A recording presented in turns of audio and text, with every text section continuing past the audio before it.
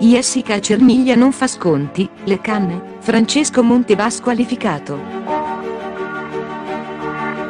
Isola dei famosi 2018 nella bufera per lo scandalo droga, che sta scatenando un vespaio di polemiche critiche in rete.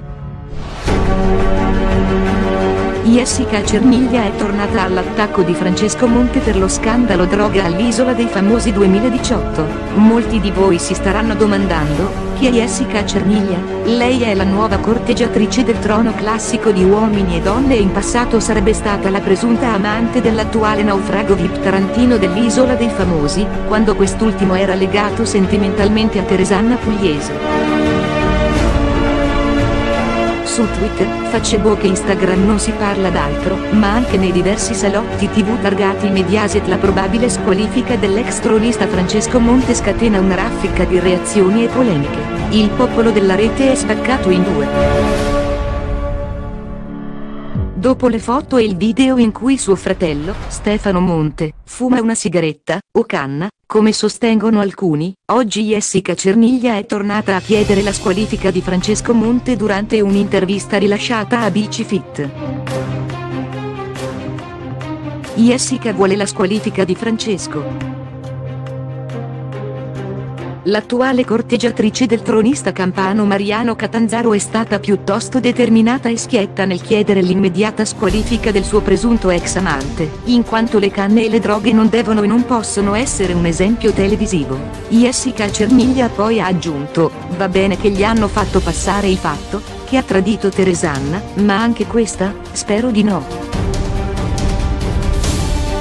ha lodato la scelta di Cecilia Rodriguez, che ha scaricato Francesco Monte per Ignazio Moser durante il Grande Fratello VIP 2017, perché si è liberata di un macigno e ha svelato un dettaglio intimo su quella presunta notte di amore trascorsa con l'ex tronista pugliese diversi anni fa. Lui è una statua, non è per niente passionale.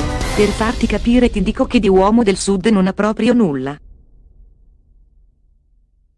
Intanto Mercedes ed Avenger dell'Isola dei Famosi 2018 sperano che vengano presi seri provvedimenti nei confronti di Monte. Anche i giornalisti Alfonso Signorini, Alberto Dandolo e Riccardo Signoretti hanno invocato il pugno duro di Mediaset contro Monte. Il movimento italiano dei genitori, MOIG, ha denunciato l'accaduto all'ambasciata honduregna e ora in base alle leggi locali, l'ex compagno di Cecilia Rodriguez rischia 12 anni di carcere per possesso e consumo di marijuana.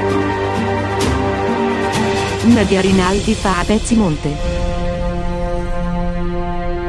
Anche l'attrice Nadia Rinaldi si è scagliato contro Francesco Monte durante una chiacchierata con Amauris Perez sull'isola. Lei è in nominazione insieme con l'ex tronista del trono classico di Uomini e Donne Rosa Perrotta e l'ex concorrente maggiorata e rifatta del grande fratello Francesca Cipriani. Nadia Rinaldi non ha digerito la nomination subita dal modello Tarantino. Francesco avrà tempo di crescere, ha attaccato Nadia, posso avere l'età di sua madre, mi dispiace che non c'è più e che gli venga in sogno per dire, bello di mamma mi sa che non ti stai comportando tanto bene.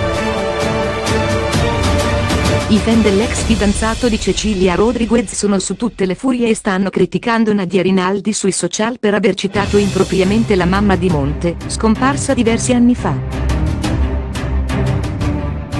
ma l'attenzione di tutti i telespettatori del reality show di Canale 5, condotto da Alessia Marcuzzi con Daniele Bossari e Mara Venier nel ruolo di opinionisti fissi, è concentrata sulla decisione finale di Mediaset, dopo tutte queste polemiche e feroci critiche per lo sdoganamento della droga in tv, Francesco Monte verrà squalificato? Lo sapremo durante la terza puntata.